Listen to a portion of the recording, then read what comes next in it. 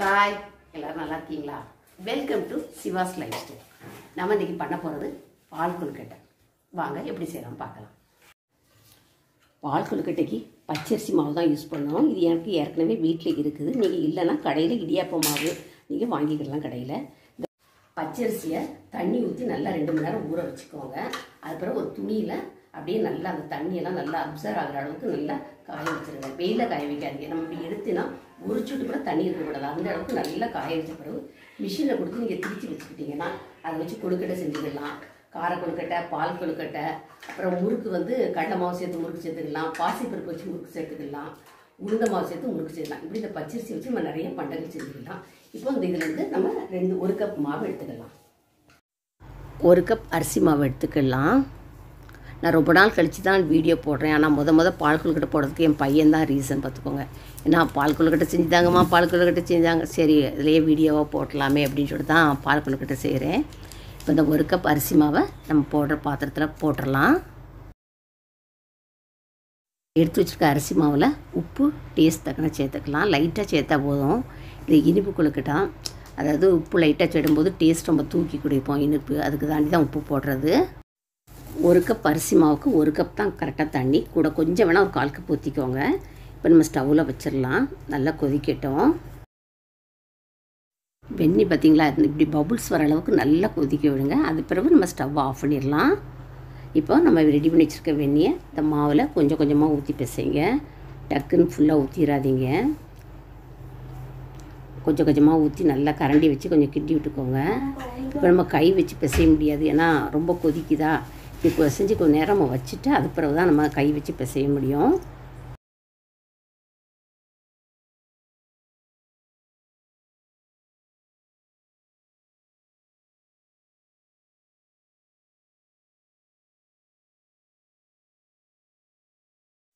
ஓரளவுக்கு தண்ணி ஊற்றியாச்சு எல்லா சைடும் ஓரளவுக்கு மிக்ஸ் ஆன மாதிரி ஆயிடுச்சு.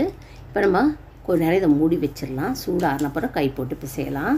சூடு ஓரளவுக்கு ஆறிட்டு இந்த கரண்டியில் உள்ள மாவை நான் எடுத்துட்டு இப்போ இந்த மாவை சேர்த்து பிசையலாம். கொஞ்சம் கொஞ்சமாக மாவை அப்படி நல்லா எல்லாம் அடித்து பிசையும் போது எல்லா மாவும் கொஞ்சம் கொஞ்சமாக சேரும். கொஞ்சம் லைட் சூடு தான் இருக்குது. ஆனால் இந்த சூட்டோட லைட்டாக பிசைகிறேன் அதான் கையை அப்பப்போ கொஞ்சம் லைட்டாக சூடாகிற மாதிரி இருக்கனால லைஸாக அப்படி வச்சுக்கிட்டுறேன். நீங்கள் வந்து பச்சை தண்ணி ஊற்றி பசிச்சு வச்சுக்கோங்களேன் இந்த கொழுக்கட்டை வந்து ரொம்ப கல் மாதிரி இருக்கிற மாதிரி இருக்கும். நம்ம அந்த கொதிக்கிற வெந்நில ஊற்றும் போது அதுலேயே கொஞ்சம் மாவு ஓரளவுக்கு சாஃப்டாக வெந்துருமா? கொழுக்கட்டை வந்து நல்லா சாஃப்டாகவும் இருக்கும். மாவு பார்க்கும்போதே பாருங்களா நல்ல ஒரு சாஃப்டாக இருக்கும். பசையும் போதே தெரியும் உங்களுக்கு. நல்ல மாவு சாஃப்டாக இருக்க மாதிரி தெரியும். அப்படியே எல்லா மாவையும் சேர்த்து அப்படியே நல்லா எல்லாம் பிசைச்சிக்கலாம் மாவு வந்து ஒரு கப் ஒரு கப் மோஸ்ட்லி தண்ணி கரெக்டாக இருக்கும். ஓரளவு மாவு சேராத மாதிரி லைட்டாக வெடிப்பு இருக்க மாதிரி இருக்குதுன்னு வச்சுக்கோங்களேன். பக்கத்தில் கொஞ்சம் ஹாட் வாட்டர் வச்சுக்கோங்க. அந்த வெந்நியை லைட்டாக கையில் நினச்சிட்டு அப்படி பெஸ்டிங்கனாலே சேர்ந்துடும் எனக்கு வந்து நல்லாவே சேர்ந்துட்டு மாவு நான் அதை வெந்நியை பக்கத்தில் வச்சுருக்கிறேன். பாருங்கள் எனக்கு மாவு நல்லா சேர்ந்துட்டு பாருங்கள் எப்படி ஒரு சாஃப்ட் சைனிங் தொடர்ந்துக்கே எப்படி ஒரு சாஃப்ட்னஸ் இருக்குது மாவு சேர்ந்தாச்சு. இப்போ நம்ம சின்ன சின்ன உருண்டையாக உருட்டிடலாம். பெசஞ்சு வச்ச மாவுலேருந்து சின்ன சின்ன உருண்டையாக உருட்டிக்கலாம். இப்படி தான் உருட்டணும் அப்படிலாம் கிடையாது. நீங்கள் அப்படி நீல வாக்கில் சின்ன உருண்டையாக எப்படினாலும் உருட்டி போடுங்க. உங்கள் பிள்ளைங்களை கொடுங்க அது பாட்டுக்கு உருட்டி போட்டுகிட்டே இருப்பாங்க. ஈஸியாக வேலையும் முடிஞ்சிடும் இந்த பச்சரிசி தேங்காய்பால்லாம் வந்து அந்த காலத்தில் மோஸ்ட்லி பண்ணுறது பார்த்திங்கன்னா பச்சரிசி தேங்காய்ப்பால் தான் செய்வாங்க. நம்ம தான் இப்போ கடலை மாவு மைதா மாவு அதெல்லாம் உடம்புக்கு நல்லது கிடையாது. இது பாருங்கள் சின்ன வயசுலேருந்து பெரிய ஆளுக்கு வந்து எல்லோரும் சாப்பிட்லாம். நம்ம மோஸ்ட்லி இதை சேர்க்குறது ரொம்ப நல்லது. அதே போல் தேங்காய் பால் இப்போ நிறைய பேர் சொல்கிறது தேங்காய் கொலஸ்ட்ரால் தேங்காய் பால் கொலஸ்ட்ரால் இல்லைங்க தேங்காய் பால் எவ்வளோ நாளும் சேர்க்கலாங்க. நம்ம பண்ணுற ஒரே தப்புன்னு தெரியுமா? சாப்பிட்டுட்டு சாப்பிட்டுட்டு உட்காந்துட்டே இருக்கோம். அதான் செய்கிறோம் முன்னாடி நல்லா சாப்பிட்டாங்க. வயலில் வேலை செஞ்சாங்க. மோஸ்ட்லி நல்ல வேலை செஞ்சனால அவங்களை இந்த ஃபுட்டு சாப்பிடாது இந்த ஃபுட்டு சாப்பிடக்கூடாதுலாம் கிடையாது. நம்ம இப்போ மாதிரி நம்ம சாப்பிட்டு கொஞ்சம் வாக்கிங் போனோமா அப்படியாவது செய்யலாம். அதை செஞ்சாவது நம்ம தேங்காய் பால்லாம் நல்லது தாங்க உடம்புக்கு. என்னோடய ஃபுட்டில் மோஸ்ட்லி தேங்காய் தேங்காய் பால் நிறையா இருக்குங்க. ஏன்னா எங்கள் அம்மா வந்து சேர்ப்பாங்க. பொரியல்னாலும் நிறையாவே போடுவாங்க. அதனால் நம்மளுக்கு அந்த பழக்கம் தான் வரும். இப்படி எல்லா பீஸும் ஓரளவுக்கு அப்படியே உருட்டி போட்டுக்கோங்க. என் பிள்ளைங்களோட கைவரிசையை பார்த்தீங்களா? டைனிங் டேபிளில் உட்காந்து மொத்த நான் ரொம்ப டைம் ஆக்கி உருட்டுறேன்னா அவங்க மொத்தமாக ரோல் மாதிரி அப்படி உருட்டி கடகடன்னு கட் பண்ணி போட போகிறாங்களாம் சரி கொரோனா டைம் பிள்ளைங்கள்லாம் வீட்டில் இருக்காங்க. அப்படி ஏதாவது செய்யட்டும்னு பேசாமல் விட்டுருங்க. வேலைக்கு வேலையும் நடக்கும். பிள்ளைங்களும் சமையலுக்கு கொஞ்சம் ஹெல்ப் பண்ண மாதிரி இருக்கும். நானும் அதான் சரி செஞ்சுட்டு போட்டோம் அப்படின்னு சொல்லிட்டு விட்டுட்டேன். சிசர் வச்சு வச்சு என் பொண்ணும் என் பையனும் இப்படி ரோல் பொண்ணு கட் பண்ணிகிட்ருக்காங்க இருக்காங்க. ஆளுக்கு ஒரு பக்கம்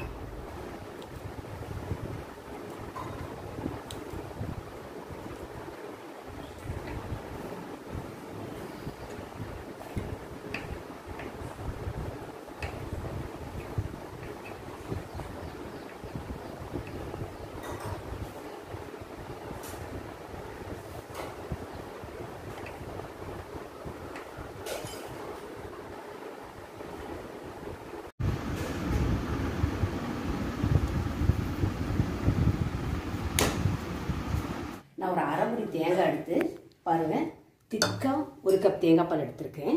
அப்புறம் இன்னொன்று வந்து அது அப்புறம் திரும்ப நிறைய எவ்வளோ தண்ணி ஊற்றுறமோ தண்ணி ஊற்றி ரெண்டு கப் தேங்காய் பால் எடுத்திருக்கேன். இந்த ரெண்டு கப் தேங்காய் பாலை நம்ம இந்த பாத்திரத்தில் ஊற்றலாம் எந்த பாத்திரத்தை வைக்கிறோமோ அந்த பாத்திரமாக ஊற்றிக்கலாம் இது தண்ணியிலையும் செய்வாங்க. கொஞ்சம் பாருங்க கொஞ்சம் மண்டி இருக்குது ஃபில்டர் பண்ணிக்கிறேன். கொஞ்சம் நல்லா தான் இது பண்ணேன். ஆனாலும் லைட்டாக இருக்குது ஃபில்டர் பண்ணிக்கிறேன் இப்போ நம்ம ஸ்டவ்வில் வச்சுக்கலாம்.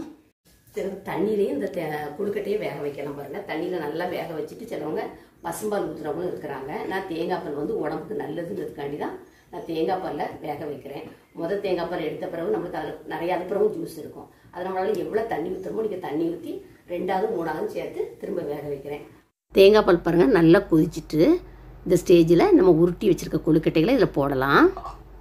நம்ம கொதிக்காமல் போட்டோம்னு வச்சுக்கோங்களேன் அந்த உருண்டை வந்து அப்படியே அந்த தண்ணியில் கரைஞ்சிரும். அதனால் கொதிச்ச தான் உருண்டைகளை போடணும்.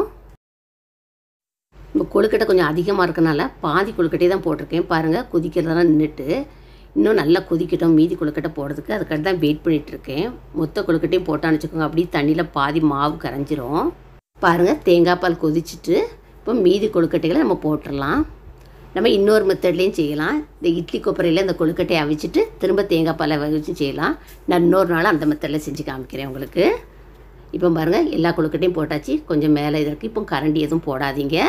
இப்போ மேலே இருக்க கொழுக்கட்டை உள்ளே போகிறதுக்காண்டி நான் துணியை வச்சு லேசாக அப்படி ஆட்டி விட்றேன். வெந்த உடனே எல்லாம் அப்படி தன்னாலே மேலே வந்துடும் வேகிறதுக்குன்னு சொல்லிட்டு டைம் இந்த டைம் அப்படின்லாம் கிடையாது. பாருங்கள் நல்லா கொதிச்சிட்டு இப்போ நம்ம ஸ்டவ்வை சிம்மில் வச்சிடலாம். இப்போ இன்னொன்று ரெடி பண்ண வேண்டியிருக்கு. வெள்ளைக்கரைசல். வாங்க வெள்ளைக்கரைசல் ரெடி பண்ணுவோம். நம்ம வெள்ளை கரைசல் ரெடி பண்ணுறோன்னு சொன்னோம்ல ஒரு கப் அரிசி மாவு எடுத்திருக்கோம். அதுக்கு ஒன்றரை கப் எல்லாம் எடுத்துருக்கிறேன். நல்லா சீவி வச்சுருக்கிறேன். இதுக்கு ஒரு கால் கப் தண்ணி ஊற்றிக்கலாம் வெல்லம் கரையிறதுக்கு. நீங்கள் கருப்பட்டி எடுக்கனாலும் எடுத்துக்கலாம் சர்க்கரையும் எடுத்துக்கலாம். நான் ஸ்டவ்வில் வச்சுருக்கிறேன். வெல்லம் கரையட்டும். ஒரு கரண்டியை வச்சு லேசாக கிண்டி விட்டுக்கலாம். அந்த தண்ணியில் எல்லாம் கரையலான்ட்டு. பாருங்கள் அந்த பக்கம் வெள்ளை கரைசல் ரெடி ஆகிட்டுருக்கு அந்த பக்கம் கொழுக்கட்டை வெந்திருக்கு பாருங்கள் வேக வேக அப்படியே மேலே எழும்பிகிட்டே வந்துட்டுருக்கு பாருங்கள் இன்னும் கொஞ்சம் நல்லா வேகட்டும்.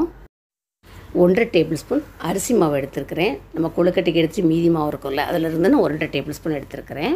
இதை நம்ம கொஞ்சம் தண்ணி விட்டு கரைச்சிக்கலாம். கொஞ்சோடு தண்ணி ஊற்றினா போதும். அதாவது கொழுக்கட்டை வந்து ரொம்ப தேங்காய் பால் இருக்கிறனால தண்ணியாக இருந்த மாதிரி இருக்கும். நம்ம இது கொஞ்சம் ஊற்றுறனால கொஞ்சம் திக்னஸ் கொடுக்கும். அதுதான் கொஞ்சோடு அரிசி மாவு விட்டு கரைச்சி வச்சுக்கோங்க. பார்த்தீங்களா கொழுக்கட்டை எல்லாம் மெல்ல மேலே எழுப்பி வச்சிங்களா? இதுதான் வெந்திருக்குங்கிற ஸ்டேஜ் அப்படியே வெந்தவொடனே ஆட்டோமேட்டிக்காக வெந்துடும் நீங்கள் ஒன்றே ஒன்று எடுத்து வேணால் செக் பண்ணி பார்த்துக்கோங்க. பாருங்கள் நம்ம கரைச்சி வச்சுருக்க அரிசி மாவு கரைசலை இதை ஊற்றிடலாம் இது நல்லா அப்படி சேர்ந்து நல்லா திக்னஸ் ஆகும். ஒரு அஞ்சு நிமிஷம் நல்லா சேர்ந்து கொதிக்கட்டும்.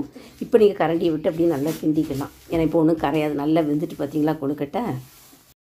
வெள்ளை கரைசல் கரைஞ்சாச்சு. வெள்ளம் கரைஞ்சா போதும். பாகு ஸ்டேஜெலாம் பார்க்க வேண்டாம். இப்போ இந்த வெள்ளை கரைசலை இந்த அரிசி மாவுத்து அஞ்சு நிமிஷம் ஆகிட்டு இந்த ஜல்லடை வச்சு நம்ம ஊற்றிக்கோங்க டஸ்ட்டு ஏதாவது இருந்தால் அதிலே தங்கிரும். இப்போ இந்த வெள்ளை கரைசலோடு சேர்ந்து கொழுக்கட்டை ஒரு பத்து நிமிஷம் கொஞ்சம் கொதிக்க விடுங்க. அப்போ அந்த கொழுக்கட்டையில் அந்த பாகெல்லாம் நல்லா சேர்ந்து சாப்பிடும்போது ரொம்ப டேஸ்ட்டாக இருக்கும்.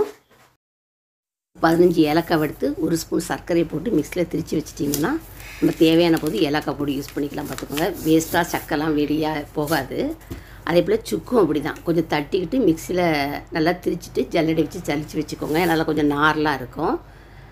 இப்போ ஏலக்காய் பொடி ஒரு டீஸ்பூனும் சுக்கு பொடி ஒரு ஸ்பூனும் போட்டுக்கிறான் ஏலக்காய் சுக்கு ஏலக்காய் போடும் வாசனையாகவும் இருக்கும் நல்லா டைஜஷன் ஆகும். அதனால தான் ஏலக்காய் சுக்கு போடுறேன். ஒரு பிஞ்ச் பச்சை கற்பூரம் எடுத்துக்கோங்க. இருந்தால் போட்டுக்கோங்க இல்லைன்னா ஸ்கிப் பண்ணிக்கோங்க. இந்த பச்சை கற்பூரம் போடும்போது ஒரு நல்ல ஒரு ஃப்ளேவர் கிடைக்கும் போலுக்கு. நம்ம கோயிலெலாம் சக்கரை பொங்கல் கோயிலில் தரும்போது ஆ என்ன ஒரு வாசனை அப்படின்னு நினைப்போம் தெரியுமா? இந்த பச்சை கற்பூரம் தான் அவங்க சேர்ப்பாங்க. அது அப்படி ஒரு மனம் கொடுக்கும் பார்த்துக்கோங்க. நம்ம இது பண்ணிக்கிட்டு இருக்கும்போதே பாருங்கள் நான் ஸ்டவ்வை சிம்மில் வச்சுருக்கேன். சாரி சொல்ல மாட்டேன் கொதிக்குது பாருங்கள் நல்லா குறைச்சா கொதிச்சிருக்கு. அப்போ தான் தேங்காய் பால் ஊற்றணும் நம்ம திக்காக ஒரு தேங்காய் பால் எடுத்து வச்சுருக்கோம் பார்த்துக்கோங்க அதை ஊற்றணும் கொதிச்சுக்கிட்டு இருக்கும்போது ஊற்றினீங்கன்னு வச்சுக்கோங்க. தேங்காய் பால் அப்படியே தெரிஞ்சு போயிடும் அப்புறம் கொழுக்கட்டை வம்பாக போயிடும் அதே போல் ஃபஸ்ட்டு தேங்காய் பால் ஊற்றின பிறகு எந்த இதுவுமே கொதிக்க விடக்கூடாது. தேங்காய் பால் ஊற்றிட்டு அப்படியே ஸ்டவ்வை எப்போவுமே ஆஃப் பண்ணிடுங்க. அப்போ தான் டேஸ்ட் ரொம்ப நல்லாயிருக்கும் நம்மளுக்கு பால் கொழுக்கட்டை தயார். தேங்காய் பால் நான் பச்சரிசி மாவில் செஞ்சுருக்கேன் ஆரோக்கியமான பால் கொழுக்கட்டை. நீங்களும் இதை செஞ்சு பாருங்கள் உங்கள் குழந்தைங்களுக்கு செஞ்சு கொடுங்க. இது ரொம்ப ஹெல்த்தியானது. எங்கள் சேனலை தொடர்ந்து பார்த்துட்ருக்கவங்களுக்கு நான் நன்றியை சொல்லிக்கிறேன். ஏற்கனவே அம்மா மகள் சமையலிருந்து இப்போ சிவா லைஃப் ஸ்டைல் வச்சு மாற்றிருக்கோம் இதையும் தொடர்ந்து பார்த்து எங்களுக்கு ஆதரவு கொடுங்க. பிடிச்சிருந்தா லைக் பண்ணுங்கள் சேனலை உங்களோட ஃப்ரெண்ட்ஸுக்கும் ஷேர் பண்ணுங்கள் சப்ஸ்கிரைப் பண்ணுங்கள் தேங்க்யூ ஃபார் வாட்சிங்